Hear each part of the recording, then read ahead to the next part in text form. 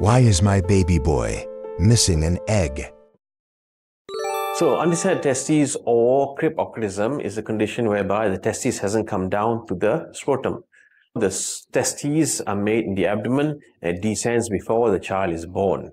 And if the testes doesn't descend all the way down to scrotum, if it's stuck somewhere, either in the abdomen or the groin, it's called an undescended testes. So for this condition, the treatment of choice is surgical, which is done at about six months of age. If the testis is in the groin, it's a simple procedure whereby a small cut in the groin and the testis is brought down to the scrotum. However, in the conditions whereby the testis is not felt in the groin, the testis is most likely in the abdomen.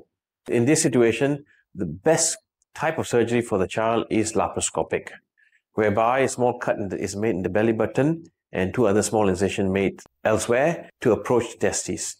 With the laparoscopic technique, the view of the sperm tube and the blood vessel to the testes is so much better and we can make sure that we preserve these structures so that the testes does not get damaged or the quality of testes is reduced by reducing the quality of blood flow to the testes. In the open technique, a bigger cut is made in the groin. The view of the testes is not so good and there's higher risk of damaging those important structures I just mentioned.